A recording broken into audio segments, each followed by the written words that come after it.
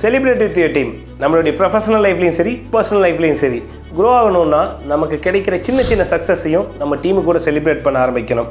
நம்ம கூட இருக்கிற ஃபேமிலி மெம்பர்ஸ் ஃப்ரெண்ட்ஸ் கூட ஒர்க் பண்ணுறவங்க இல்லை சொசைட்டி மெம்பர்ஸ் யார் நம்ம டீம்னு நாம் நினைக்கிறோமோ அவங்கக்கிட்ட நமக்கு கிடைச்ச எக்ஸ்பீரியன்ஸை சொல்லி செலிப்ரேட் பண்ணக்கூடிய விஷயம் ஒரு பாசிட்டிவை ஏற்படுத்தி அடுத்த ஸ்டேஜுக்கு நகர்த்தக்கூடிய விஷயமாக இருக்கும்.